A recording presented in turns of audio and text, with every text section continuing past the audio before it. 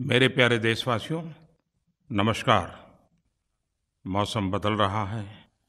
इस बार गर्मी भी बहुत रही लेकिन अच्छा हुआ कि वर्षा ऋतु समय पर अपने नक्शे कदम पर आगे बढ़ रहा है। देश के कई भागों में झमाझम बारिश से मौसम सुहाना हो गया है।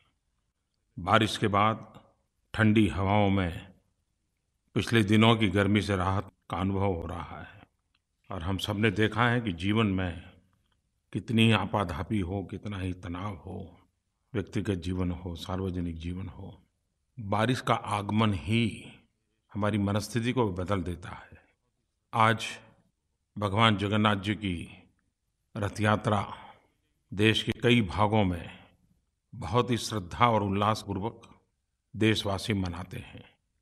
अब तो विश्व के भी कुछ भागों में भगवान जगन्नाथ जी की रथ यात्रा का उत्सव संपन्न होता है।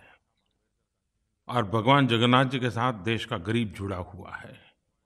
जिन लोगों ने डॉक्टर बाबा साहब आम्बेडकर का अध्ययन किया होगा, उन्होंने देखा होगा कि भगवान जगन्नाथ जी का मंदिर और उसकी परंपराओं की वो बड़ी तारीफ़ करते थे, क्योंकि उसमें सामाजिक न्याय, सामाजिक समरसता अंतर्निहित थे। भगवान जगन्नाथ गरीबों का देवता है। और बहुत कम लोगों को पता होगा, अंग्रेज़ी भाषा में एक शब्द है जगरनॉट। और उसका मतलब होता है, ऐसा भव्य रथ जिसे कोई रोक नहीं सकता। और इस जगरनॉट का डिक्शनरी मीनिंग में भी ये पाया जाता है कि जगन्नाथ के रथ के साथ में से ही ये शब्द का उद्भव हुआ है। और इसलिए हम समझ सकते हैं कि दुनिया ने भी जगन्नाथ इस यात्रा को अपने अपने तरीके से किस प्रकार से महात्मय स्वीकार किया है? भगवान जगन्नाथ की यात्रा के अवसर पर मैं सभी देशवासियों को शुभकामनाएँ देता हूँ और भगवान जगन्नाथ जी के श्री चरणों में प्रणाम भी करता हूँ। भारत की विविधता, ये इसकी विशेषता भी है। भारत की विविधता, ये भारत की शक्ति भी है। रमज़ान का पवित्र महीना सब दूर इबादत में पवित्र भाव के साथ मनाया। अब ईद का त्यौहार है। ईद उल फितर के इस अवसर पर मेरी तरफ़ से सबको ईद की बहुत बहुत शुभकामनाएँ। रमज़ान महीना पुण्य दान का महीना है, खुशियों को बांटने का महीना है। और जितनी खुशियाँ बांटते हैं उतनी खुशियाँ बढ़ती हैं। आए हम सब मिल कर के, इन पवित्र उत्सवों से प्रेरणा लेकर के, खुशियों के खजाने को बांटते चले, देश को आगे बढ़ाते चले। रमज़ान के इस पवित्र महीने में उत्तर प्रदेश के बिजनौर के मुबारकपुर गाँव की एक बड़ी प्रेरक घटना मेरे सामने आई। करीब साढ़े तीन हज़ार हमारे मुसलमान भाई बहनों के परिवार वहाँ उस छोटे से गाँव में बसते हैं, एक प्रकार से ज़्यादा आबादी हमारे मुस्लिम परिवार के भाइयों बहनों की है। इस रमज़ान के अंदर गाँव वालों ने मिलकर के शौचालय बनाने का निर्णय किया और इस व्यक्तिगत शौचालय के अंदर सरकार की तरफ़ से भी सहायता मिलती है और उस सहायता की राशि करीब सत्रह लाख रुपये उनको दी गई। आपको जानकर के सुखद आश्चर्य भी होगा, आनंद होगा। रमज़ान के इस पवित्र महीने में सभी मुसलमान भाइयों बहनों ने सरकार को ये सत्रह लाख रुपए वापस लौटा दिए। और ये कहा कि हम, हमारा शौचालय हमारे परिश्रम से, हमारे पैसों से बनाएँगे। ये सत्रह लाख रुपये आप गाँव की अन्य सुविधाओं के लिए खर्च कीजिए। मैं मुबारकपुर के सभी ग्रामजनों को रमज़ान के इस पवित्र अवसर को समाज की भलाई के अवसर में पलटने के लिए बधाई देता हूँ। उनकी एक एक चीज़ भी बड़ी ही प्रेरक है। और सबसे बड़ी बात है, उन्होंने मुबारकपुर को खुले में शौच से मुक्त कर दिया। हम जानते हैं कि हमारे देश में तीन प्रदेश ऐसे हैं, सिक्किम, हिमाचल और केरल। वो पहले ही खुले में शौच से मुक्त घोषित हो चुके हैं। इस सप्ताह उत्तराखंड और हरियाणा भी ओडीएफ घोषित हुए। मैं इन पाँच राज्यों के प्रशासन को, शासन को और जनता जनार्दन को विशेष रूप से आभार प्रकट करता हूँ इस कार्य को परिपूर्ण करने के लिए। हम भली भांति जानते हैं कि व्यक्ति के जीवन में, समाज के जीवन में कुछ भी अच्छा करना है तो बड़ी कड़ी मेहनत करनी पड़ती है। अगर हमारे हैंडराइटिंग ख़राब है, अगर उसको ठीक करना है तो लंबे अरसे तक बहुत जागरूक रह करके प्रयास करना पड़ता है। तब जाकर के शरीर की, मन की आदत बदलती है। स्वच्छता का भी विषय ऐसा ही है। ऐसी बुरी आदतें हमारे स्वभाव का हिस्सा बन गई है, हमारी आदतों का हिस्सा बन गई है कि इससे मुक्ति पाने के लिए अविरत रूप से हमें प्रयास करना ही पड़ेगा। हर किसी का ध्यान आकर्षित करना ही पड़ेगा। अच्छी प्रेरक घटनाओं का बार बार स्मरण भी करना पड़ेगा। और मुझे खुशी है कि आज स्वच्छता ये सरकारी कार्यक्रम नहीं रहा है। ये जन समाज का जन सामान्य का एक आंदोलन बनता चला जा रहा है। और शासन में बैठे हुए लोग भी जब जन भागीदारी से इस काम को आगे बढ़ाते हैं तो कितनी ताकत बढ़ जाती है। पिछले दिनों एक बहुत ही उत्तम घटना मेरे ध्यान में आई, जो मैं आपके सामने ज़रूर कहना चाहूँगा। ये घटना है आंध्र प्रदेश के विजयनगरम ज़िले की। वहाँ के प्रशासन ने जन भागीदारी से एक बड़ा काम हाथ में लिया। 10 मार्च सुबह छः बजे से लेकर के 14 मार्च सुबह 10 बजे तक। 100 घंटे का नॉन स्टॉप अभियान। और लक्ष्य क्या था? 100 घंटे में इकहत्तर ग्राम पंचायतों में दस हज़ार घरेलू शौचालय बनाना। और मेरे प्यारे देशवासियों, आप जानकर के खुश हो जाएँगे कि जनता जनार्दन ने और शासन ने मिल करके सौ घंटे में दस हज़ार शौचालय बनाने का काम सफलतापूर्वक पूर्ण कर दिया। इकहत्तर गाँव ओडीएफ हो गए। मैं शासन में बैठे हुए लोगों को, सरकारी अधिकारियों को और विजयनगरम ज़िले के उन गाँव के नागरिकों को बहुत बहुत बधाई देता हूँ कि आपने परिश्रम की पराकाष्ठा करते हुए बड़ा प्रेरक उदाहरण प्रस्तुत किया है। इन दिनों मन की बात में लगातार मुझे जनता जनार्दन की तरफ़ से सुझाव आते रहते हैं। नरेंद्र मोदी ऐप पर आते रहते हैं माई गोविन पर आते हैं, चिट्ठियों से आते हैं, आकाशवाणी पे आते हैं। श्रीमान प्रकाश त्रिपाठी ने इमरजेंसी को याद करते हुए लिखा है कि 25 जून को लोकतंत्र के इतिहास में एक काला कालखंड के रूप में उन्होंने प्रस्तुत किया है। प्रकाश त्रिपाठी जी की, लोकतंत्र के प्रति ये जागरूकता सराहनीय है। और लोकतंत्र एक व्यवस्था ही है, ऐसा नहीं है, वो एक संस्कार भी है। Eternal vigilance is the price of liberty लोकतंत्र के प्रति नित्य जागरूकता ज़रूरी होती है। और इसलिए लोकतंत्र को आघात करने वाली बातों को भी स्मरण करना होता है। और लोकतंत्र की अच्छी बातों की दिशा में आगे बढ़ना होता है। 1975 25 जून वो ऐसी काली रात थी जो कोई भी लोकतंत्र प्रेमी भुला नहीं सकता है, कोई भारतवासी भुला नहीं सकता है। एक प्रकार से देश को जेल खाने में बदल दिया गया था, विरोधी स्वर को दबोच दिया गया था। जयप्रकाश नारायण सहित देश के गणमान्य नेताओं को जेलों में बंद कर दिया था। न्याय व्यवस्था भी आपातकाल के उन भयावह रूप की छाया से बच नहीं पाई थी। अखबारों को तो पूरी तरह बेकार कर दिया गया था। आज के पत्रकारिता जगत के विद्यार्थी, लोकतंत्र में काम करने वाले लोग, उन काले कालखंड को बार बार स्मरण करते हुए लोकतंत्र के प्रति जागरूकता बढ़ाने के निरंतर प्रयास करते रहे हैं और करते भी रहने चाहिए। उस समय अटल बिहारी वाजपेयी जी भी जेल में थे। जब आपातकाल को एक वर्ष हो गया तो अटल जी ने एक कविता लिखी थी और उन्होंने उस समय की मनस्थिति का वर्णन अपनी कविता में किया है। जुलसाता जेठ मास शरद चांदनी उदास। झुलसाता जेठ मास शरद चांदनी उदास। सिसकी भरते सावन का अंतर्गट रीत गया, एक बरस बीत गया। एक बरस बीत गया। सिखचों में सिमटा जग, किंतु विकल प्राण विहग।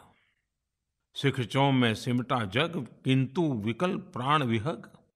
धरती से अंबर तक, धरती से अंबर तक गूंज मुक्ति गीत गया। एक बरस बीत गया, एक बरस बीत गया। पथ निहारते नयन, गिनते दिन पल छिन।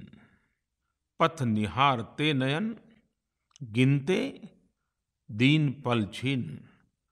लौट कभी आएगा, लौट कभी आएगा, मन का जो मीत गया, एक बरस बीत गया।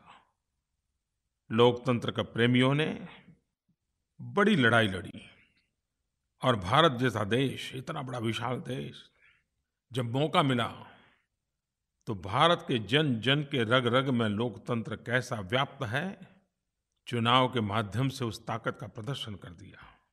जन जन के रग रग में फैला हुआ ये लोकतंत्र का भाव, ये हमारी अमर विरासत है। उस विरासत को हमें और सशक्त करना है। मेरे प्यारे देशवासियों, हर हिंदुस्तानी आज विश्व में सर ऊँचा कर करके गौरव महसूस कर रहा है। 21 जून 2017 पूरा विश्व योगमय हो गया। पानी से पर्वत तक लोगों ने सवेरे सवेरे सूरज की किरणों का स्वागत योग के माध्यम से किया। कौन हिंदुस्तानी होगा जिसको इस बात का गर्व नहीं होगा? ऐसा नहीं है कि योग पहले होते नहीं थे, लेकिन आज योग जब एक धागे में बंध गए हैं योग विश्व को जोड़ने का कारण बन गए हैं। दुनिया के करीब करीब सभी देशों ने योग के इस अवसर को अपना अवसर बना दिया। चीन में the great wall of China, उस पर लोगों ने योग का अभ्यास किया। तो पेरू में world heritage site Machu Picchu पर समुद्र तल से 2400 मीटर ऊपर लोगों ने योग किया। फ्रांस में एफिल टावर की साय में लोगों ने योग किया। यूएई में अबुधाबी में चार हज़ार से अधिक लोगों ने सामूहिक योग किया। अफ़गानिस्तान में, हेरात में, India Afghan friendship dam Salma बाँध पर योग करके भारत की दोस्ती को एक नया आयाम दिया। सिंगापुर जैसे छोटे से स्थान पर, सत्तर स्थानों पर कार्यक्रम हुए और सप्ताह भर का उन्होंने एक अभियान चलाया है। यूएन ने अंतर्राष्ट्रीय योग दिवस के दस स्टैम्प्स निकाले। उन दस स्टैम्प्स को रिलीज़ किया। यूएन हेडक्वार्टर में yoga session with yoga masters का आयोजन किया गया। यूएन के स्टाफ, दुनिया के डिप्लोमेट्स, हर कोई इसमें शरीक हुआ। इस बार फिर एक बार योग ने विश्व रिकॉर्ड का भी काम किया। गुजरात में, अहमदाबाद में करीब करीब पचपन हज़ार लोगों ने एक साथ योग करके एक नया विश्व रिकॉर्ड बना दिया। मुझे भी लखनऊ में योग के कार्यक्रम में शरीक होने का अवसर मिला। लेकिन पहली बार मुझे बारिश में योग करने का सद्भाग्य प्राप्त हुआ। हमारे सैनिकों ने, जहाँ माइनस बीस, पच्चीस, चालीस डिग्री टेम्परेचर होता है, उस सियाचिन में भी योग किया। हमारे आर्म फोर्सेज हो, बीएसएफ हो, आईटीबीपी हो, सीआरपीएफ हो, सीआईएसएफ हो, हर कोई अपनी ड्यूटी के साथ साथ योगा को अपना हिस्सा बना दिया है। इस योगा दिवस पर मैंने कहा था कि तीन पीढ़ी, क्योंकि ये तीसरा अंतर्राष्ट्रीय योग दिवस था तो मैंने कहा था कि परिवार की तीन पीढ़ियाँ एक साथ योगा करते हो, इसकी फ़ोटो शेयर कीजिए। कुछ टीवी चैनल ने भी इस बात को आगे बढ़ाया था। मुझ पर काफ़ी फ़ोटो मिले, उसमें से कुछ selected photographs Narendra Modi app पर कंपाइल करके रखे गए हैं, जिस प्रकार से पूरे विश्व में योग की चर्चा हो रही है। उसमें एक बात अच्छी उभर करके आ रही है कि योग से आज की जो हेल्थ कॉन्शियस सोसाइटी है, वो फिटनेस से अब वेलनेस की ओर जाने की दिशा में कदम रख रही है और उनको लग रहा है कि फिटनेस का महत्व ही है, लेकिन वेलनेस के लिए योग उत्तम मार्ग है। रिस्पेक्टेड प्राइम मिनिस्टर मैं डॉक्टर अनिल सोनारा, अहमदाबाद, गुजरात से बोल रहा हूँ। सर, मेरा एक सवाल है कि रिसेंटली केरला में हमने आपको सुना था कि डिफरेंट डिफरेंट प्लेसेस पे जो बुके एज अ गिफ्ट हम देते हैं, उसकी जगह काइंड ऑफ़ गुड बुक्स हमको देनी चाहिए एज अ मोमेंटो इस चीज़ का आपने शुरुआत गुजरात में अपने कार्यकाल में भी करवाया था, सर। लेकिन अभी इन रिसेंट डेज़ हमें ये ज़्यादा देखने को नहीं मिल रहा है। So can we do something हम क्या इस चीज़ के बारे में कुछ कर नहीं सकते, जिससे देशव्यापी तौर पे इस चीज़ का इम्प्लीमेंटेशन हो सके सर पिछले दिनों मुझे एक बहुत ही मेरे प्रिय कार्यक्रम में जाने का अवसर मिला। केरल में अच्छा कार्यक्रम चलता है कुछ वर्षों से। पी एन पनीकर फाउंडेशन के द्वारा चलता है और लोगों को किताबें पढ़ने की आदत बने। लोग किताब पढ़ने की ओर जागरूक हो, इसलिए reading day, reading month celebration किया जाता है। तो मुझे उसके शुभारंभ में जाने का मौका मिला। और वहाँ मुझे ये भी बताया गया कि हम बुके नहीं, बुक देते हैं। मुझे अच्छा लगा और मुझे भी जो चीज़ मेरे ध्यान से हट गई थी, उसका पुनः स्मरण हो गया। क्योंकि जब मैं गुजरात में था तो मैंने सरकार में एक परंपरा बनाई थी। कि हम बुके नहीं देंगे बुक देंगे, या तो हाथ रुमाल, हैंडकरचीफ, उसी से स्वागत करेंगे और खादी का हैंडकरचीफ, ताकि खादी को भी बढ़ावा मिले। जब तक मैं गुजरात में था, हम सब की आदत बन गई थी, लेकिन यहाँ आने के बाद मेरी वो आदत छूट गई थी। लेकिन केरल गया तो फिर से एक बार वो जागरूक हो गई और मैंने तो अभी सरकार में फिर से नीचे सूचना देना भी शुरू कर दिया है। हम भी धीरे धीरे एक स्वभाव बना सकते हैं। और बूके का आयुष बहुत कम होती है। एक बार हाथ में लिया, फिर छोड़ देते हैं। लेकिन अगर बुक देते हैं तो एक प्रकार से घर का हिस्सा बन जाता है, परिवार का हिस्सा बन जाता है। खादी का रुमाल दे करके भी स्वागत करते हैं तो कितने गरीब लोगों को मदद मिलती है। खर्चा भी कम हो जाता है और सही रूप से उसका उपयोग भी होता है। और जब मैं ये बात कह रहा हूँ तो ऐसी चीज़ों का कितना ऐतिहासिक मूल्य होता है। मैं गत वर्ष जब यूके गया था तो लंदन में ब्रिटेन की क्वीन क्वीन एलिजाबेथ ने मुझे भोजन पे निमंत्रित किया था। एक मातृ सहज वातावरण था। बड़े प्यार से उन्होंने भोजन भी कराया, लेकिन बाद में उन्होंने मुझे एक बड़े ही आदर के साथ भावात्मक स्वर में एक छोटा सा खादी का और धागे से बुना हुआ एक हैंडकरचिप दिखाया और उनकी आँखों में चमक थी उन्होंने कहा जब मेरी शादी हुई थी तो ये हैंडकरचिप महात्मा गांधी ने मुझे भेंट में भेजा था शादी की शुभकामना के रूप में। कितने साल हो गए। लेकिन क्वीन एलिजाबेथ ने महात्मा गांधी के द्वारा दिया हुआ ये हैंडकरचीफ संभाल के रखा हुआ है और मैं गया तो उन्होंने इस बात का बड़ा आनंद था, वो मुझे वो दिखा रही थी। और जब मैं देख रहा तो उनका आग्रह रहा नहीं, मैं उसको छू करके देखूँ। महात्मा गांधी की एक छोटी सी भेंट उनके जीवन का हिस्सा बन गया, उनके इतिहास का हिस्सा बन गया। मुझे विश्वास है कि ये आदतें रातों रात नहीं बदलती हैं, और जब कभी ऐसी बात करते हैं तो आलोचना भी स्वीकार करना होता है। लेकिन उसके बावजूद भी ऐसी बातें करते रहनी चाहिए, प्रयास करने रहना चाहिए। अब मैं ये तो नहीं कह सकता हूँ कि मैं कहीं जाऊँगा और कोई भूखे लेके आ जाएगा तो उसको मना कर दूँगा, ऐसा तो नहीं कर पाऊँगा। लेकिन फिर भी आलोचना भी होगी। लेकिन बात करते रहेंगे तो धीरे धीरे सुधार भी होगा।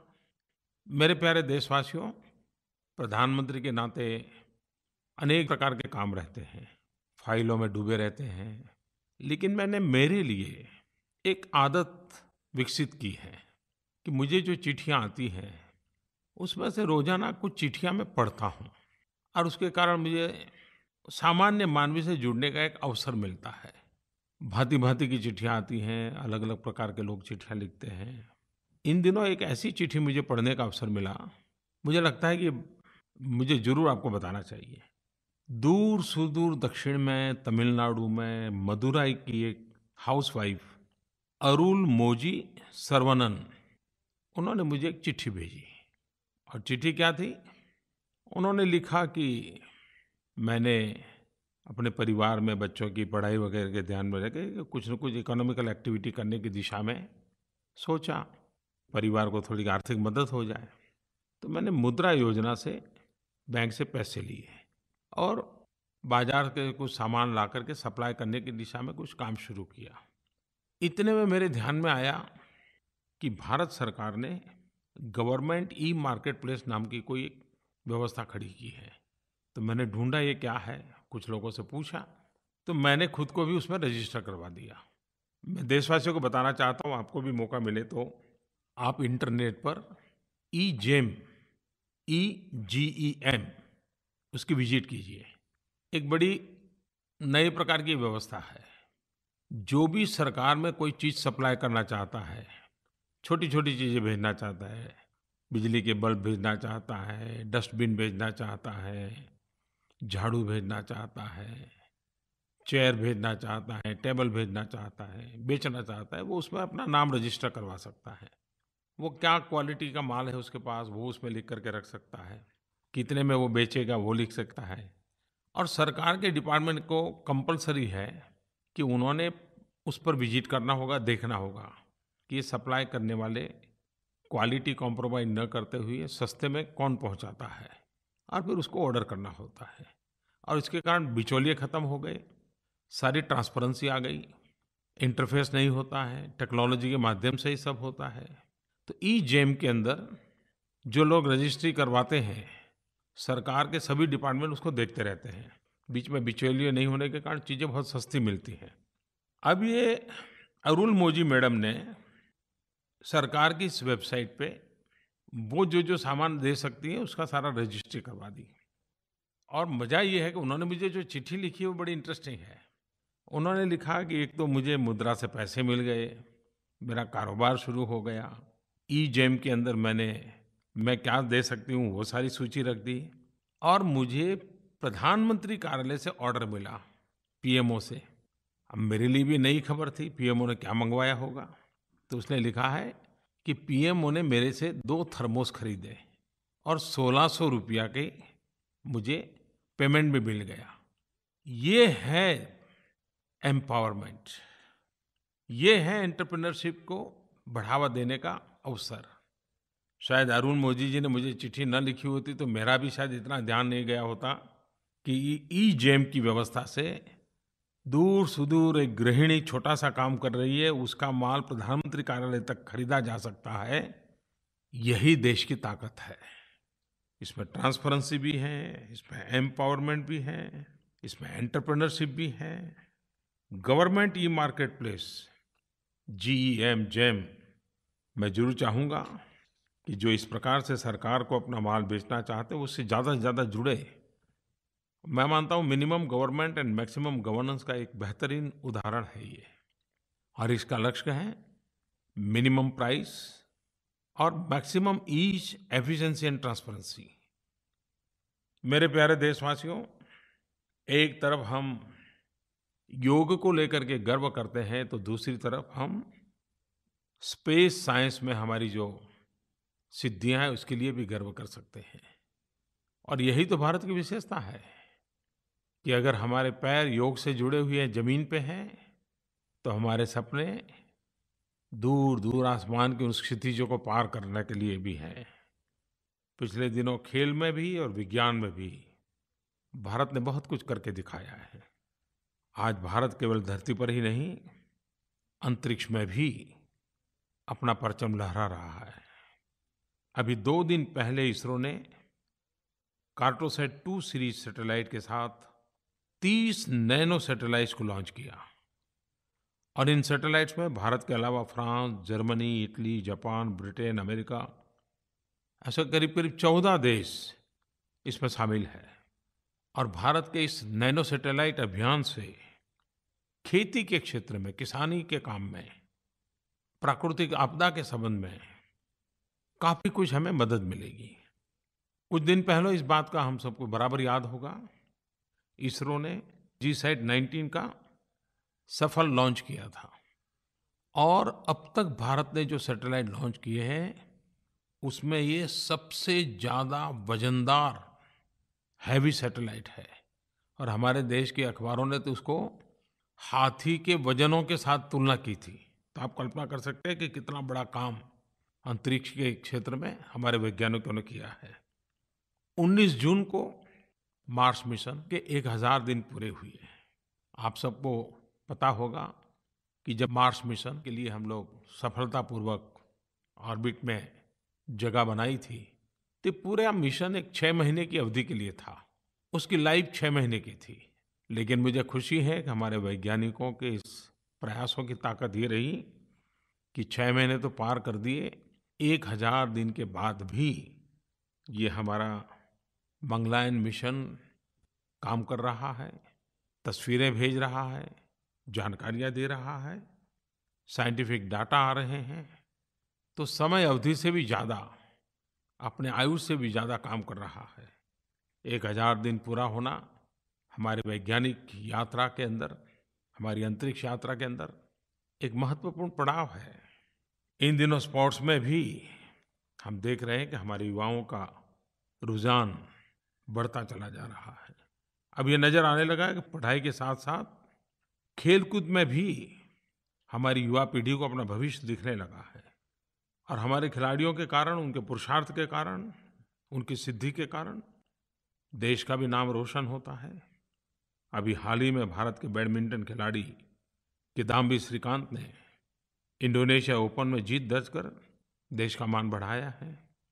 मैं इस उपलब्धि के लिए उनको और उनके कोच को हृदय से बधाई देता हूँ। मुझे कुछ दिन पहले athlete P T Usha ji Usha school of athletics के सिंथेटिक ट्रैक के उद्घाटन समारोह में जुड़ने का अवसर मिला था। हम खेल को जितना बढ़ावा देंगे, स्पोर्ट्स, स्पोर्ट्समैन स्पिरिट भी लेके आता है। खेल व्यक्तित्व के विकास के लिए भी बहुत बड़ी अहम भूमिका अदा करता है। ओवरऑल पर्सनालिटी डेवलपमेंट में खेल का महात्म्य बहुत है। देश में प्रतिभाओं की कोई कमी नहीं है। अगर हमारे परिवार में भी बच्चों को खेल की रुचि है तो उनको अवसर देना चाहिए। उनको मैदान में से उठा करके, कमरे में बंद करके किताबों के लिए मजबूर नहीं करना चाहिए। वो पढ़ाई भी करें, उसमें भी आगे बढ़ सकता है तो बढ़े। लेकिन अगर खेल में उसका सामर्थ्य है, रुचि है तो स्कूल, कॉलेज, परिवार, आसपास के लोग, हर किसी ने उसको बल देना चाहिए, प्रोत्साहित करना चाहिए। अगले ओलंपिक के लिए हर किसी ने सपने संजोने चाहिए। फिर एक बार, मेरे प्यारे देशवासियों, वर्षा ऋतु, लगातार उत्सवों का माहौल, एक प्रकार से ये कालखंड की अनुभूति नहीं होती है। मैं फिर एक बार आप सबको शुभकामनाएँ देते हुए अगले मन की बात के समय फिर कुछ बातें करूँगा। नमस्कार।